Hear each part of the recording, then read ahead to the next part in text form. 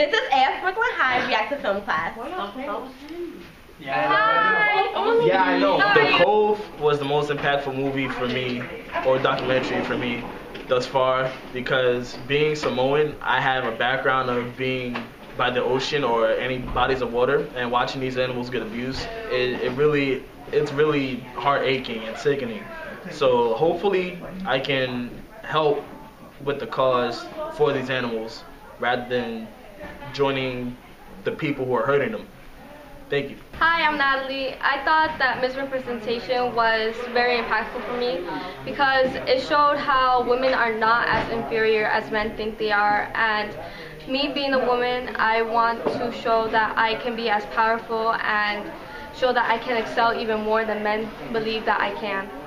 My name is Kalisha, and the film that most impacted me was Food Inc. because it has influenced me to eat healthier and become a vegan.